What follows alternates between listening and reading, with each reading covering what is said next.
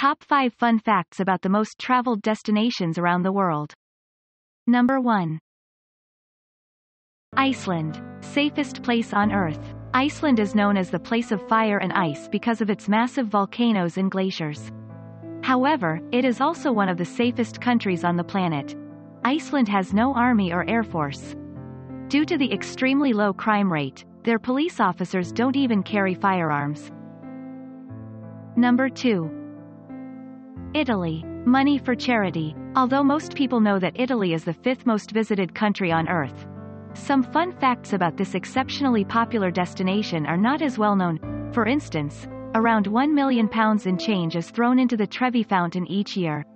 The money is collected periodically and donated to charity. Two more fun facts. Batteries and eyeglasses were invented in Italy. Number 3. Sand galore. Dubai. The United Arab Emirates was gloriously showcased in both Geostorm as well as Furious 7. Dubai is home to more than 200 nationalities and welcomes millions of tourists each year. They flock to its artificial palm islands and other attractions. The artificial palm islands contain enough sand to fill almost three Empire State Buildings, 94 million cubic meters, 3,320 million cubic feet. Approximately 3 billion cubic meters of sand was dredged from the seafloor to start the first island back in 2001. Number 4. Einstein's Eyeballs. New York City. New York City is called the city that never sleeps.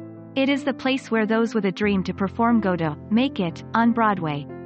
It is also home to Central Park, which receives the most visitors of any urban park in the U.S. What might be lesser known, however, is that Albert Einstein's eyeballs are stored in a safe deposit box somewhere in the city. After an illegal autopsy was performed on Einstein's body, his brain was divided into around 200 parts. His eyeballs were also removed and gifted to his eye doctor. Number 5. No weird baby names here. Germany. Germany is famous for the Oktoberfest, a great soccer team, sauerkraut, and awesome car brands. At Christmas time, the country sets up the most wonderful Christmas markets. There are also a multitude of historic castles to visit during the year.